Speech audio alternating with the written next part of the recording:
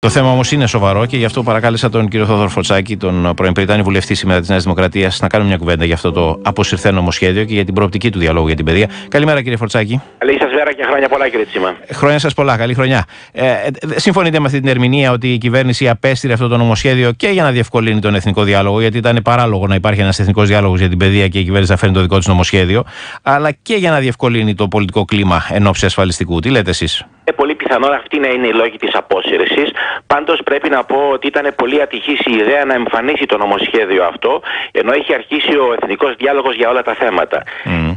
πολλές φορές πει ότι η παιδεία είναι ένα πολιτικό πρόβλημα το οποίο είναι εξαιρετικά σημαντικό και τουλάχιστον τόσο σημαντικό όσο και η οικονομία. Διότι η παιδεία είναι που διαμορφώνει τις ιδέες και τις αντιλήψεις και υπαγορεύει τις συμπεριφορές. Νομίζουμε λοιπόν ότι πρέπει να εστιάσουμε στο ζήτημα της παιδείας και μάλιστα με μια ευρύτερη συνενετική ε, βαση αν θέλετε, για να μπορέσουμε να βάλουμε θεμέλια και να φτιάξουμε ένα σύστημα το οποίο δυστυχώς στην Ελλάδα δεν φαίνεται να υπάρχει και δεν φαίνεται να λειτουργεί. Έχουμε λοιπόν ένα πολύ μεγάλο πρόβλημα που πρέπει να αντιμετωπίσουμε.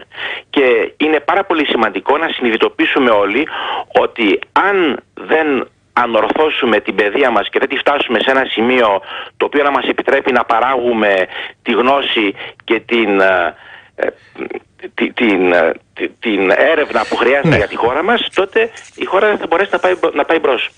Ε, ε, έχει πολλές φορές στο παρελθόν, ε, ε, έχω την εντύπωση από την εποχή που ήταν Υπουργός Παιδείας ο Τρίτσι, ε, πολλές φορές εξαγγελθεί ένας εθνικός διάλογος για την παιδεία, η απόπειρα μιας συνενετικής ε, εξέτασης και μιας μακροπρόθεσμης μεταρρύθμισης. Σπανίως έχει προχωρήσει. αυτή τη φο... Και συνήθως είναι γιατί η αντιπολίτευση δεν έχει διάθεση να παίρνει μέρος σε τέτοιου είδους διαλόγους. περιμένει να γίνει η ίδια κυβέρνηση και να, πάρει, να κάνει εκείνη τη δική της μεταρρύθμιση. Αυτή τη φορά θα είναι αλλιώς, δηλαδή εσείς ως αντιπολίτευση θα προσέλθετε στο διάλογο; Από το 1975 μέχρι σήμερα έχουν ψηφιστεί 250 νομοθετικές διατάξεις για την παιδεία. Υπερβολικά πολλές. Υπερβολικά πολλές και περισσότεροι από 16 νόμοι που θεωρούνται ρηξικέλευθοι. Αυτό σημαίνει ότι έχουμε μια υπαρπαραγωγή διατάξεων οι οποίες δεν εφαρμόζονται. Έχουμε λοιπόν δύο προβλήματα. Το ένα είναι ένα σύστημα το οποίο δεν λειτουργεί κατά γενική ομολογία παρά τη βληθώρα των διατάξεων. Το άλλο είναι μια αδυναμία να φροντίσουμε την καθημερινότητα.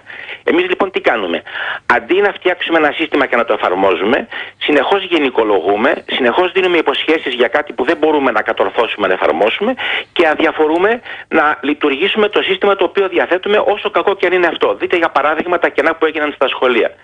Η Νέα Δημοκρατία πιστεύει, εμείς πιστεύουμε ότι έχει έρθει η ώρα να γίνει πραγματικά ένας διάλογος ο οποίος να είναι ειλικρινής, να αφήσουμε κατά μέρος τα μεγάλα λόγια και να συμφωνήσουμε να θέσουμε σε λειτουργία το σύστημά μας και συγχρόνως να συμφωνήσουμε να βάλουμε τις βάσεις για τη βελτίωσή του.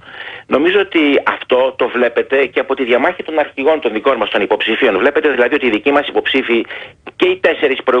προηγουμένως Στον πρώτο γύρο, ναι. είναι, εστιάζουν στο ζήτημα της παιδείας. Ο κύριος Μητσοτάκης έχει κάνει αναλυτικές αναφορές στο ζήτημα της παιδείας, ε, όπως έχει κάνει και ο κύριος Μεϊμαράκης. Αλλά ε, πρέπει πραγματικά να βάλουμε κάτω όλα αυτά, όλες αυτές τις σκέψεις και να προχωρήσουμε προς την κατεύθυνση την οποία ναι. επιστημούμε. Ε, ε, τι να κατα... Καταλαβαίνω ότι δεν θα είστε πάντως αρνητικοί ως αντιπολίτευση στην uh, ιδέα ενός τέτοιου διαλόγου, ανεξάρτητα αν θα προσέλθετε εκεί με τις Εγώ δικές σας απόψεις. Εγώ ότι δεν πρέπει να είμαστε αρνητικοί στην uh, ιδέα της προσέλευσης σε κανένα διάλογο. Πρέπει να είμαστε θετικοί και πρέπει όταν κάνουμε μια κριτική να τη συνοδεύουμε από μια πρόταση.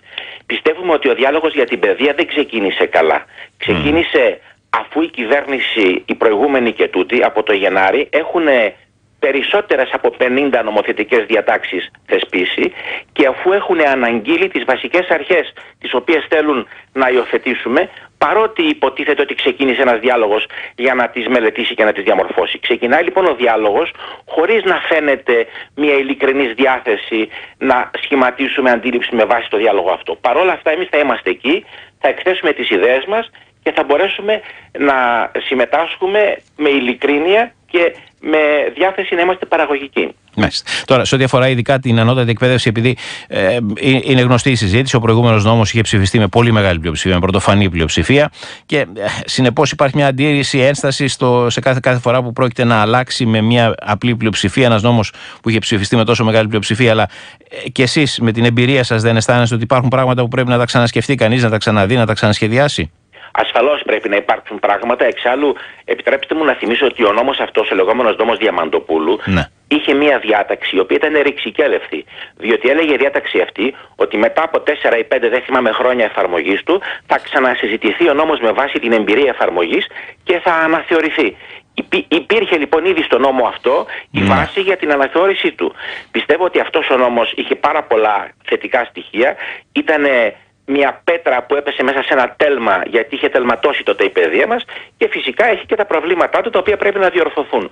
Όμως το σύνθημα όπισθεν ολοταχώς το οποίο υιοθέτησε η κυβέρνηση είναι λυπηρό διότι το να γυρίσουμε πίσω στους αιώνιους φοιτητές, την εκλογή των Βρετανικών αρχών από τα κόμματα, στην, στο γενικό μπάχαλο του Πανεπιστημίου και στην ανοχή της βίας μέσα στο χώρο του Πανεπιστημίου είναι μια οπισθοδρόμηση την οποία νομίζω δεν πρέπει να ανεχθούμε.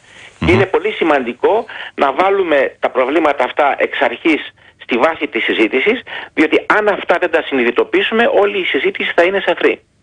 Ε, αναφερθήκατε ήδη, ε, μιλώντας για την παιδεία, αναφερθήκατε στην ε, σοκομματική σας εκλογή και στους δύο υποψήφιους που αναμετρώνται την Κυριακή. Πώς το βλέπετε, ως βουλευτής πια της Νέας Δημοκρατίας, ενώ όχι με την ιδιότητα του ανθρώπου που, που έχει μεγάλη εμπειρία στην ενότητα εκπαίδευση; Ξέρετε, είμαι βουλευτής επικρατείας και επομένως και μάλιστα επικεφαλής του ψηφοδελτίου επικρατείας και μάλιστα δύο φορές. Επομένως, η θέση μου δεν με επιτρέπει να είμαι ανοιχτά υπέρ του κάποιου υποψηφίου, διότι εγώ από όλους έχω εκλεγεί και όλους τους εκπροσωπώ αν θέλετε και τους αντιπροσωπεύω. Αλλά ε, πιστεύω ότι οι δύο που έχουν μείνει τώρα για την τελική μάχη είναι και οι δύο προσωπικότητες σημαντικές της κεντροδεξιάς. Αυτό σημαίνει ότι η βάση μας θέλει ένα κόμμα το οποίο είναι ανοιχτό στην κοινωνία. Μας χρειάζεται ανανέωση, μας χρειάζεται να έχουμε νεανικότητα, μας χρειάζεται να είμαστε παρόντες, μας χρειάζεται να έχουμε ιδέες και μας χρειάζεται να πείσουμε την κοινωνία ότι έχουμε προτάσεις που μπορούν να τη φέρουν μπροστά. Πιστεύω λοιπόν ότι την Κυριακή το αποτέλεσμα θα είναι αυτό το οποίο θα μας επιτρέψει να πραγματοποιήσουμε την επιθυμία μας. Και πιστεύω ότι η ελληνική κοινωνία θα μας εμπιστευτεί ξανά με βάση το νέο μας πρόσωπο το οποίο θα έχουμε από Δευτέρα έτοιμο να παρουσιάσουμε. Ναι. Ε, υπό την προπόθεση ότι θα έχετε ένα νέο πρόσωπο και δεν εννοώ μόνο το πρόσωπο του αρχηγού, εννοώ το πρόσωπο του κόμματος του ίδιου. Ε, φαντάζομαι και εσείς θα το βλέπετε και θα το νιώθετε ότι το πρόσωπο αυτό έχει φθαρεί ε, και έχει χάσει την έξοδο του ιδιαίτερα προς τους νεότερους. Και έχουμε ανάγκη και από όχημα. Τώρα θα αποκτήσουμε οδηγό και σιγά σιγά θα φτιάξουμε και το όχημα.